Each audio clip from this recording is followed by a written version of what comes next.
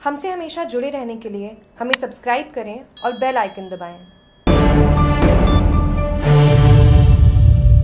ADG community policing Vishal Bansal दो दिवसीय वार्षिक निरीक्षण पर सरहदी बाड़मेर दौरे पर है गुरुवार को पुलिस लाइन में परेड का निरीक्षण कर सलामी ली इसके बाद पुलिस लाइन में संपर्क सभा विभिन्न शाखाओं का निरीक्षण किया इसके बाद विशाल बंसल ने पुलिस अधीक्षक कार्यालय का भी निरीक्षण कर विभिन्न शाखाओं का निरीक्षण किया। पुलिस अधीक्षक दीपक भार्गव ने ज़िले की क्राइम स्थिति पैटर्न, लंबित प्रकरणों सहित ज़िले की भौगोलिक परिस्थितियों से अवगत करवाया। इस दौरान उन्होंने पुलिस कॉन्फ्रेंस हॉल में ज़िले के अधिकारियों की क्राइम बैठक ली। बैठक में लंबित प्रकरणों का निस्तारण महिला अत्याचार मामलों में कार्यवाही, सड़क दुर्घटनाओं में कमी लाने, हिस्ट्री शीटर व मादक पदार्थों की तस्करी करने वाले तस्करों को गिरफ़्तार करने के निर्देश दिए।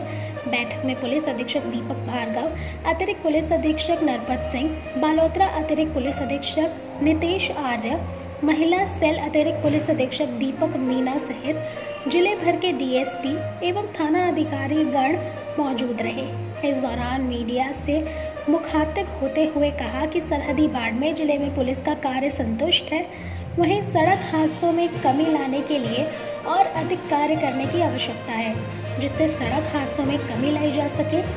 इतना ही नहीं उन्होंने पाकिस्तान की सीमा से लगते सरहदी जिला होने के कारण बीएसएफ, आईबी व अन्य सुरक्षा एजेंसियों के साथ समन्वय बनाकर सरहद पर से आने वाली मादक पदार्थों की तस्करी पर भी रोक लगाने के निर्देश दिए हैं। जागरूक टीवी के संवाददाता से बात करते हुए विशाल बंसल एडीजी इन्होंने ये कहा। वार्षिक जो निरीक्षण है, उसके दौरान हमने डिस्ट्रिक्ट पुलिस के सभी एस एच सी और सभी ऑफिसर्स के साथ भी डिस्कशन किया है। यहाँ का क्राइम पैटर्न, क्या पेंडेंसी है, क्या मुकदमों की पोजीशन वगैरह है अलग अलग पहलू के ऊपर राइट फ्रॉम पुलिस लाइन से लेके क्राइम सभी बिंदुओं के ऊपर चर्चा की गई है और देखा गया है। ऑन द होल मतलब कि यह बहुत ही अच्छी बात है कि जिला पुलिस श्री दीपक भार्गव के नेतृत्व में महिला सशक्तिकरण, साथ में विमेन रिलेटेड क्राइम्स के ऊपर बहुत ज़्यादा सजग हैं। उन्होंने हीनेस ऑफेंसेस में जितने भी हुए हैं और जो यहाँ के बड़े टॉप क्रिमिनल्स हैं, उनके खिलाफ में लगे हुए हैं। काफ़ी सारे थानों ने अपने टॉप टेन क्रिमिनल्स में से छः छः सात सात क्रिमिनल्स को अंदर करके रख रखा है। तो ऑन द होल क्राइम में बहुत सेटिस्फेक्शन पाया गया। कार्रवाई अच्छी चल रही है। कुछ बिंदु हैं जिनके ऊपर और फर्दर कार्रवाई करने की ज़रूरत है जैसे रोड एक्सीडेंट्स तो उसके ऊपर हम लोग प्लानिंग कर रहे हैं कि किस प्रकार से रोड एक्सीडेंट्स को फर्दर कम किया जा सके जिससे कि जो डेथ्स हो रही है उनको रिड्यूस किया जा सके। जो बॉर्डर की आउटपोस्ट की जो चौकी थी उनमें से काफ़ी कुछ तो चालू कर जा चुकी है। आधी के करीब चौकियाँ बंद हैं।